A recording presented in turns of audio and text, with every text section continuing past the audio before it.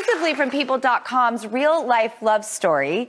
Um, there is a miraculous story. And of course, when I saw this, I went straight to a 50 First Dates place and said, We have to talk about this on the news. Oh. This is real. Andrew and Christy McKenzie recently married after a devastating accident temporarily wiped out Andrew's memory. Now, my favorite part of this story is that Christy insisted they stay in the same recovery room. She told nurses, If you let us be together, he will get better. And he did. It's a real life 51st date. Ah, that is real life 51st days. And all you can say about that, you know, people say love conquers all, love wins. That's certainly a great, great, great story.